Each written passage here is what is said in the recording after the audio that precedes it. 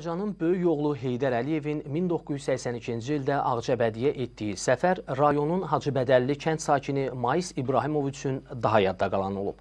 O həmin səfəri kamerasının yaddaşına köçürməklə elə tarixin də yaddaşına həkk etmiş olub.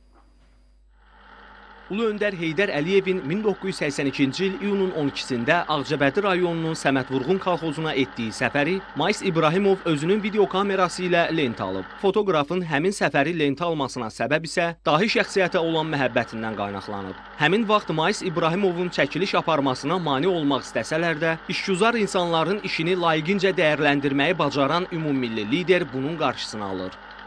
Deyirlər ki, siz o çəkişdə edən zaman e, nəsə kənarda müdaxilə olmadı. Mən dedim, bilmirəm. Dedi, Ulu Öndər əlin bir işarəsi ilə dedi ki, qoy çəksin.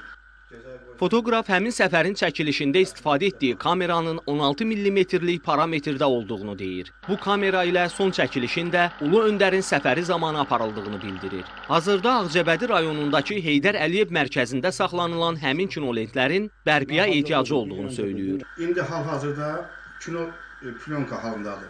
8 mm-lik. Allahın onu bərpa edib, Ağcabədi Heydər Əliyev mərkəzinə DVD şəkildə verəcək.